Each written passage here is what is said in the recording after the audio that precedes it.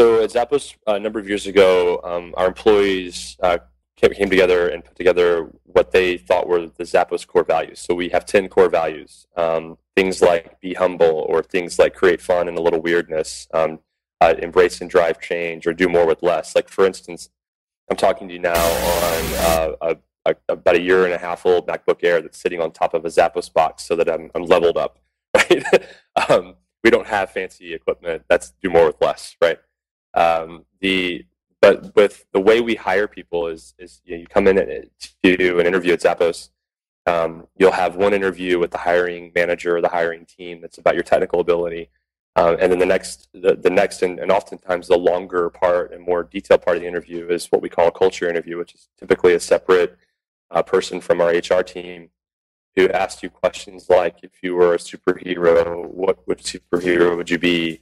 Um, and things like that, that that sort of help to determine: Are you know, do you take yourself too seriously? Are you a fun person? Um, will you be someone that needs to have five assistants to be to, to, be able to do a job, or can you actually just kind of drive it yourself? Uh, does change scare you?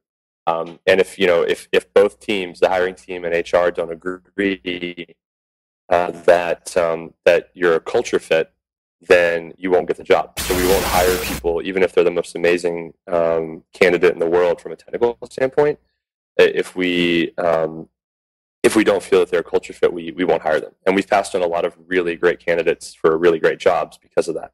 Um, so when we start there and you translate that into the workspace, what ends up happening is people you're working with are people that you you want to go out and have a beer with. Uh, and in fact, we encourage managers to spend anywhere from 20 to 25 percent of their time outside of the office with their their teams. So having a drink, going out for dinner, going to see a movie, um, and so when we create those, that we hire that kind of you know, people that sort of uh, can do those things, are comfortable doing that, and then encourage managers and teams to get together outside of the office.